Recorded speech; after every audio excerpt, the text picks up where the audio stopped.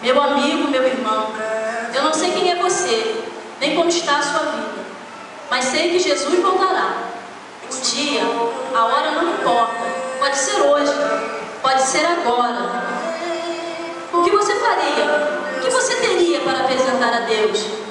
Muitos pensam que querer Jesus é invocar seu nome, de vez em quando a igreja, fazer boas obras, ter dinheiro, ou ainda ter uma religião. Isso não garante a salvação de ninguém. E assim passam toda a sua vida se enganando. Mas a palavra de Deus diz em Mateus 7, 21, nem todos que chamam meu nome entrarão no meu reino, mas aquele que faz a vontade do meu Pai. Por isso, meu irmão, pense bem, desperte agora enquanto há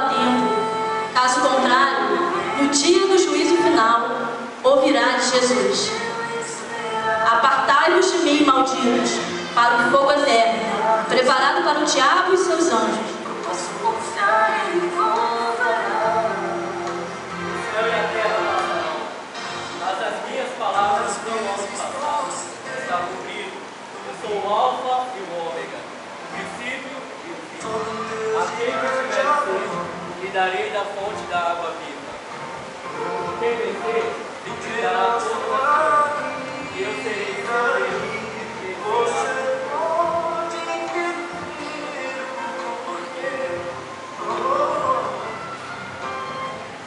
Gostaria que todos né, se estivessem aqui na frente comigo. Irmãos, louvado seja o nome do Senhor por esse momento. Os irmãos não fazem ideia do que aconteceu no dia de hoje para nos impedir de, estar, de estarmos aqui. Dois componentes do nosso grupo no dia de hoje tiveram problemas e não puderam vir. Né? Eu agradeço em especial a vida da Jéssica. Ela pegou texto e ensaiou com a gente ontem para estar aqui hoje porque ela teve que ficar no lugar de uma pessoa também que não pôde participar. Agradeço meu esposo, que esse papel que ele fez hoje não era dele, ele fazia outro papel, mas o rapaz que fazia esse personagem não pôde estar aqui. E hoje, um pouco antes da gente começar, ele fez o papel do outro rapaz, e a gente não pôde fazer o dele, o papel dele ficou faltando no dia de hoje. Mas irmãos, nós não desistimos.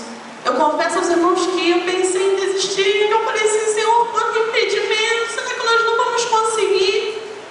Mas eu tinha um grupo comigo que estavam me, eles estavam me apoiando em todo momento, não, o meu esposo falando, não vamos, porque chega lá a gente vê quem está lá e a gente faz com quem está lá. E eu pensei assim, é, Senhor, a sua obra não pode deixar de ser feita. E para a honra e glória do Senhor Jesus, nós estamos aqui hoje para fazer a pergunta para você. Aleluia! O que você tem apresentado ao Senhor hoje? As suas mãos, como estão? O nome dessa peça que nós fizemos é Mãos Vazias. As suas mãos estão vazias? Irmãos, querido, que ainda não encontrou o caminho do Salvador, não perca tempo, porque quando ele voltar, como você viu aqui, vai ser tarde demais. E o que você terá para apresentar em suas mãos? Pense nisso. Eu agradeço a oportunidade. Vamos bater palmas para o Senhor Jesus.